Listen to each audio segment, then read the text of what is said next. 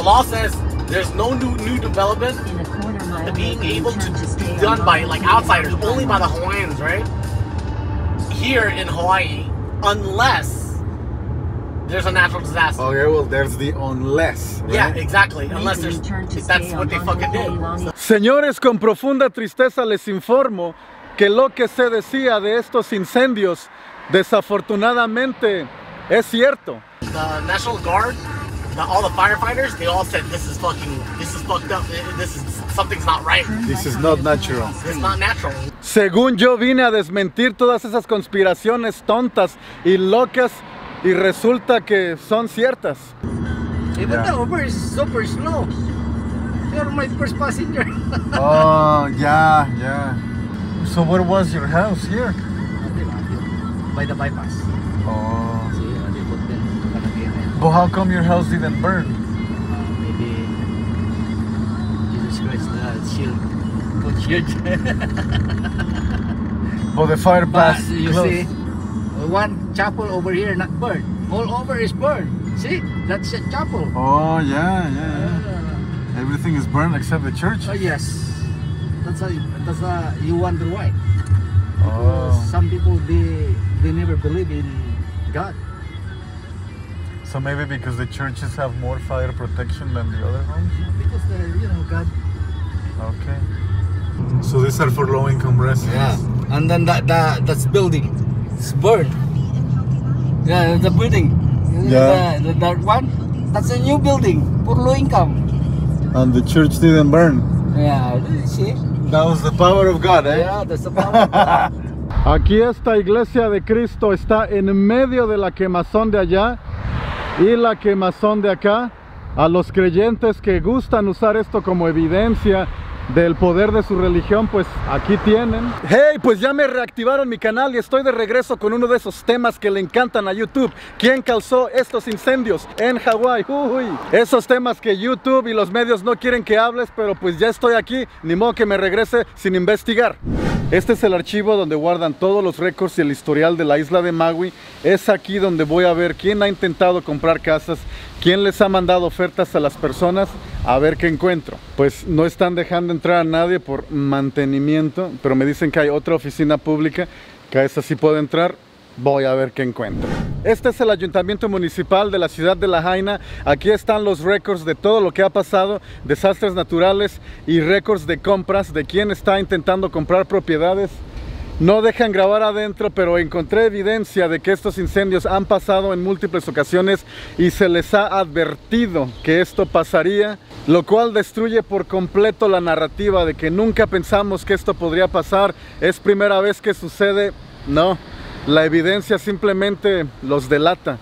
Ellos ya sabían. Por mi seguridad no les muestro los documentos para que no salgan con que yo fui el que los filtró, pero están disponibles al público en el archivo abierto del estado de Hawái. La versión oficial es que esto es el culpable, las líneas de contención eléctrica que fallaron, no les dieron buen mantenimiento y causaron todo esto. Vamos a ver si es cierto. Incluso las mismas autoridades que representan la compañía de electricidad admiten que no se puede descartar que el incendio haya sido provocado, que sus líneas eléctricas hayan sido saboteadas a propósito. Yeah, they tried. They already. They're trying to buy. They've already hit up people about their homes and trying to buy it for cheap Yeah. already, man. So shameless. Yo no lo creía, pero sí es cierto. Les están llamando a las personas que perdieron su hogar aquí y les están ofreciendo comprarles su propiedad ya quemada por una cuarta parte de lo que vale. Estas son familias que acaban de perder todo. Están en el momento más desesperado y vulnerable de toda su vida. Acaban de perder a seres queridos, necesitan dinero para funerales, necesitan comprar todo y empezar de nuevo, más aparte tienen la presión psicológica de la tragedia que pasaron y estos diablos, demonios, les están llamando para ofrecerles comprarles su propiedad por una fracción de lo que vale. no, the Hawaiian they never uh, allow that. They got they gonna protest if they do that. Uh, Lahaina is not for sale, according to the Hawaiian. Cuando vi los reportes en redes dije no es posible, esto es inventado, no puede haber gente tan diabólica en el mundo. Ya hablé con los residentes, hablé con las personas y sí les están llamando. Y lo peor es que la compañía de la que les están llamando no la puedo rastrear a quién es el dueño. No tiene información pública para ver quién está detrás de esas empresas. Esas personas están protegidas. También vi una fotografía en redes que dice que el dueño de Facebook, Mark Zuckerberg, demandó a los dueños de estas casas porque no le quisieron vender sus terrenos. Y dije, no es posible, esto no es cierto. Y resulta nuevamente, tristemente, ya se me acabaron las conspiraciones teóricas. Todas resultaron ser ciertas, bueno, la mayoría. Sí, Mark Zuckerberg, bajo el nombre de otra compañía, demandó a los dueños de estos hogares porque no le quisieron vender sus tierras. Existe una ley en Hawái que le hereda tierra a hawaianos nativos a veces sin que ellos sepan. Como no saben, pues muchos no la reclaman a tiempo, pues de esa tierra que no está reclamada, Mark Zuckerberg compró 700 acres por 100 millones de dólares y puso este muro para que los hawaianos no pasen. Incluso los dueños pueden ser arrestados por entrar a la tierra que les pertenece a ellos. También hay una ley llamada Quiet Paper, que el que está detrás de esto. Nuevamente, para no meterme en más problemas, no les muestro el documento aquí, pero están en el archivo público del estado de Hawái. De hecho, hay muchos que perdieron esa demanda y fueron obligados a venderle sus tierras. E irónicamente voy a subir este video a Facebook. La realidad es mucho más brutal que la ficción. Lo bueno es que hoy en día no dependemos de las televisoras para que nos den información confiable cuando hay desastres naturales como este, sino que gracias a las redes sociales, personas comunes y corrientes como yo, miembros promedio de la sociedad, podemos venir hasta estos lugares y zonas de desastre y podemos informarles honestamente, sin ninguna agenda, sin ninguna propaganda, sin que alguien compre nuestra opinión, sin que un patrocinador nos diga qué decir. Yo simplemente vengo y les muestro lo que veo. Mis ojos, mediante esta cámara y las redes sociales, van a ser sus ojos. Ustedes van a ver lo que yo estoy viendo y forman su propia opinión. Agárrense que ahí les va. Vamos a ver todas las teorías divididas en tres. Primero, las que resultaron ser ciertas, las más horribles. Después vamos a ver las que tienen una explicación y algunos se convencieron con la explicación y algunos no. Y después vamos a ver las noticias falsas. Repasemos lo que sí es cierto, comprobado, con evidencia, no conspiraciones, datos. Número uno, sí, le están llamando a los damnificados para comprarles sus casas mal baratadas y el estado de Hawái nos está bloqueando la identidad de quienes están detrás. Número dos, antes de los incendios, múltiples celebridades y multimillonarios quisieron comprar en esta área y no los dejaron. Número tres, la ley no permite que extranjeros desarrollen hoteles de lujo, al menos que haya un desastre natural. Qué conveniente. Y número cuatro, la más horrible, la que no me ha dejado dormir desde que llegué aquí. Personal de emergencia bloqueó la salida a los que venían huyendo del fuego. Esto no puede ser coincidencia, no puede ser incompetencia. Con las llamas detrás de ellos les impidieron el paso por dos horas no cinco minutos, dos horas con las llamas visibles detrás. Lo que causó tantas muertes es que las personas quedaron atrapadas en esta autopista que es la única en la isla. Si tú ves el mapa, casi no tienen carreteras, estas son sus únicas rutas de escape. Entonces todo este vecindario al verse atrapado en llamas, las personas se paniquean y se vienen en masas a la carretera, las llamas vienen avanzando a una velocidad increíble y pues buscaron refugio aquí en el agua. Y ya ven, fue una, la tormenta perfecta. Esto yo no lo vi en TikTok, no me lo contaron. Yo hablé en persona con los afectados. Por seguridad de ellos no les muestro sus identidades, pero me dieron video evidencia que subiré a mi página de Instagram. Aquí no puedo subirlos, acabo de pasar una suspensión en YouTube y Facebook también ya me advirtió, pero en mi página de Instagram haberles impedido el paso a los que huían del fuego viendo las llamas detrás no tiene explicación. Ahora vamos a ver las explicaciones oficiales que me dieron para todas estas observaciones. Les explico lo que los oficiales y las autoridades nos dijeron y ustedes me dicen si están de acuerdo o si aún tienen sospecha. Bienvenido a Lahaina, la capital del reinado de Hawái. Entre las cenizas está nuestro hogar. Por favor, sé respetuoso y amable. Esto es todo lo que me voy a acercar y esto es solo por respeto a los niños y familias que ahí vivían. A mí de niño mi casa se me cayó con un desastre natural y los reporteros que llegaban a informar no se acercaban mucho, con mucho respeto desde lejos grababan para no interrumpir en nuestra privacidad y explotar nuestra tragedia. Voy a pagarles haciendo lo mismo. Hay muchos youtubers que sí se brincaron esa malla, burlaron los puestos de inspección y se metieron de casa en casa buscando. Eso ya es morbo, ya es allanar la propiedad de estas familias.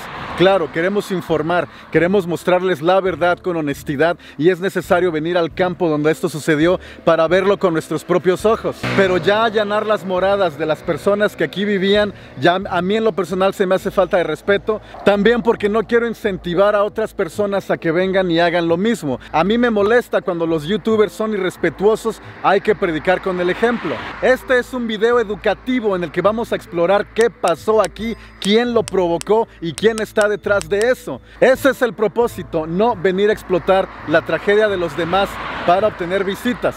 Vamos a ver estas teorías de una por una. Las líneas eléctricas nunca las cortaron durante el incendio y continuó provocando aún más incendios. La explicación oficial que nos dan es de que los hidrantes, para que los bomberos puedan bombear agua, funcionan con electricidad y si las cortan pues están neutralizando al cuerpo de bomberos. Ahora, ¿qué dices? ¿Aceptas esta explicación? Y estas dichosas alarmas nunca sonaron. Las tienen de adorno. Que hubiera alertado a todo el pueblo del peligro, pero nunca sonaron. ¿Por qué? La explicación que nos dan es que estas alarmas son solo para tsunamis y que a todos los hawaianos desde niños les enseñan en la escuela que cuando la escuchen sonar tienen que correr hacia las montañas, hacia los suelos altos porque el tsunami ya viene aquí en el océano. Entonces el alcalde de la ciudad nos dice que si él hubiese sonado las alarmas, las personas por instinto hubiesen pensado que es un tsunami y si hubiesen ido hacia donde el fuego venía, y que hubiese empeorado las cosas. Es lo que ellos nos dicen. Y hasta cierto punto sí le creo porque yo ayer estaba en medio de un incendio y me vine corriendo al agua y en eso sonó esta alarma y me confundí. Dije, bueno, ¿qué hago? Me hubiera ido corriendo hacia arriba y me hubiera topado de frente con el fuego. Si la del tsunami no porque iba a confundir a las personas, la del teléfono sí. ¿Por qué no les avisaron por teléfono? No encuentro ninguna explicación. Sabemos que el servicio funciona. A mí me llegó una alerta de emergencia de evacuación para la isla de Maui al segundo día que yo estaba aquí. Sabemos que las alarmas por teléfono sí funcionan. Por más que quiero entender el punto de vista de las autoridades hawaianas, trato de darles el beneficio de, a ver, explícame qué pasó. No encuentro una razón lógica. Veamos cosas que sí tienen una explicación. ¿Por qué el fuego se expandió tan rápido? Tenemos este mapa que nos muestra todos los impactos de rayos por tormenta eléctrica que hay en el mundo.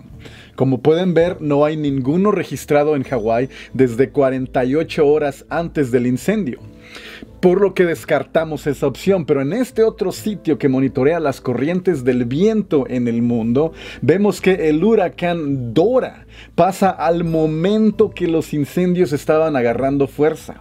Se acerca a unos 800 kilómetros de la costa de Maui, con vientos de hasta 120 kilómetros por hora. Aquí tenemos una clave.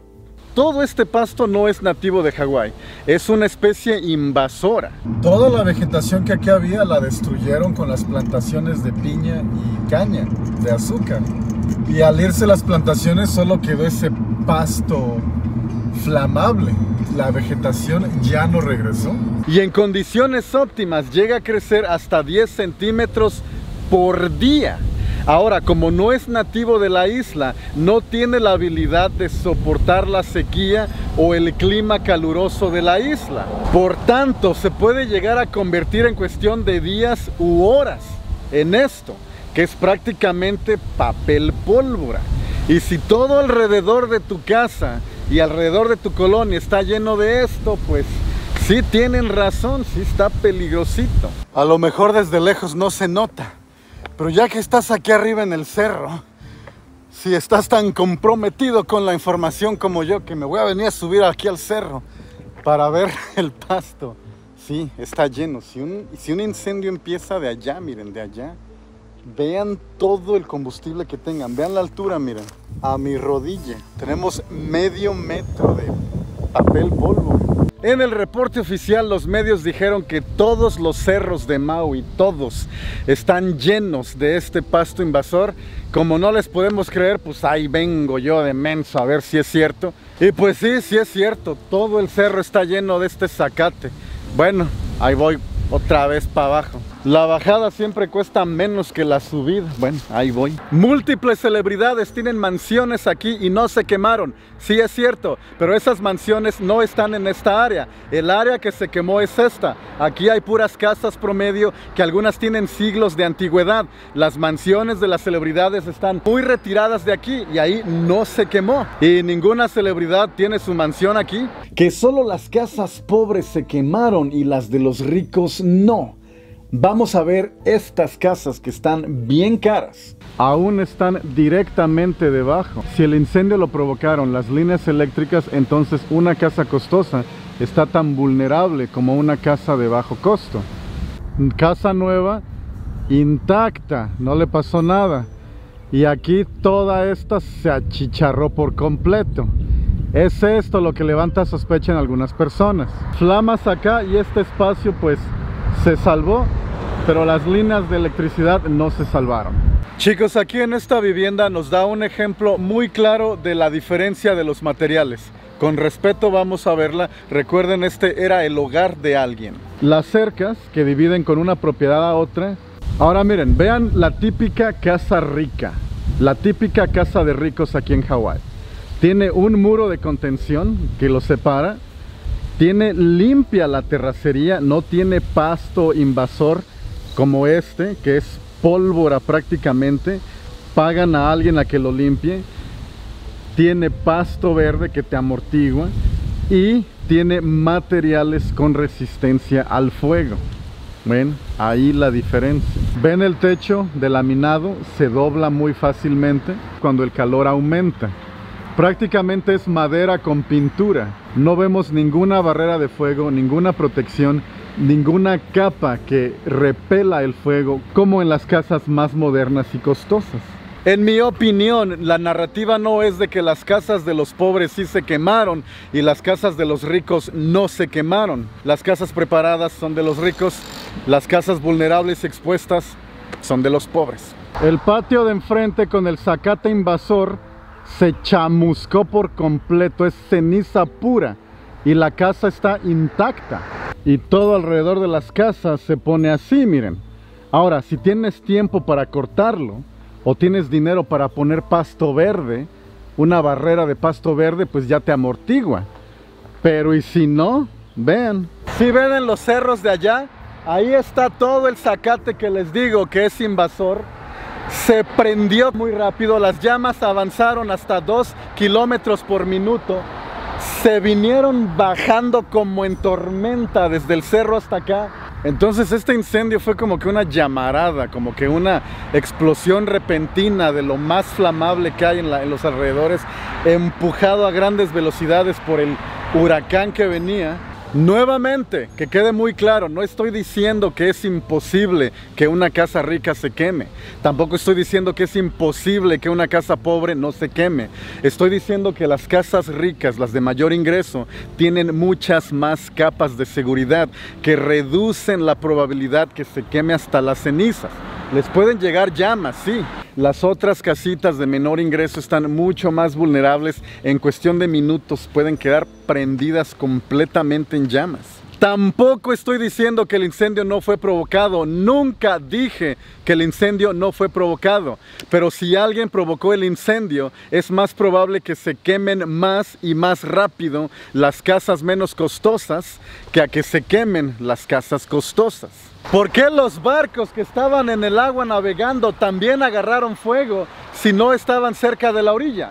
La explicación que nos dan es esta. El mismo calor provocado por las llamas hace que el combustible de los barcos los prenda en fuego. Además, estas palmeras se prendieron en fuego, estaban en llamas y el viento sopló esto y cayeron hasta acá, miren. Aquí hay fragmentos de las palmeras, de la hoja de palmera en llamas. Todos estos árboles que están quemados aquí, más el viento que venía a ráfaga tan grande, aventó las llamas y cosas flamables ya prendidas hacia el agua y es así como los barcos van prendiendo fuego. ¿Cómo ven esta explicación? ¿La aceptan? ¿Sí? ¿No? Miren, chicos, yo siempre que viajo para grabar contenido, rento un lugar que tenga cocina y ahí cocino, compro despensa y cocino. Pero aquí la única tienda que hay, Safeway, está cerrada. Entonces no hay donde comprar comida. La única forma de obtener víveres es viniendo aquí donde están las donaciones.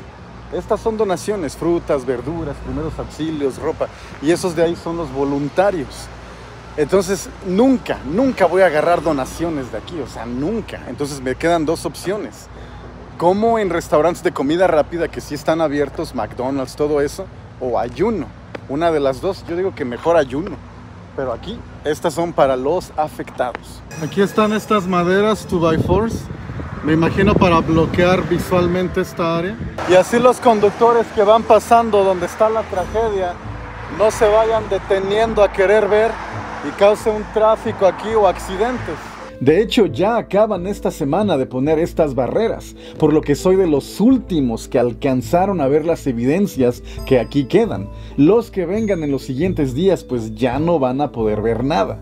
Siguiente teoría, y ya no les decimos conspiración teórica porque puede ser cierta. Entonces le vamos a decir observación. Aquí vemos dos círculos de fuego. Uno, los barcos que se queman y el otro es el incendio en general. El círculo de barcos no tengo idea por qué, pero el incendio en general sí. Si el viento viene de las montañas y las cosas más flamables están en la orilla, el fuego va a tomar la forma de esa orilla. Las casas son un círculo. O sea, si ves el fuego desde arriba, el fuego es un círculo porque el combustible para el fuego es un círculo. La es un círculo con la barrera natural del agua. Eso explica por qué desde arriba en el mapa Maui se veía un círculo de fuego. Simplemente el fuego sigue la figura de lo que se está quemando. Pero este círculo de fuego en los barcos Aún no encuentro cuál fue la explicación. A lo mejor era la forma en la que estaban estacionados. Aún no sabemos. Entonces, ¿fueron armas de energía desde el espacio? Lo veremos en el siguiente video, este ya está muy largo. Que el valor esté contigo y estén pendientes.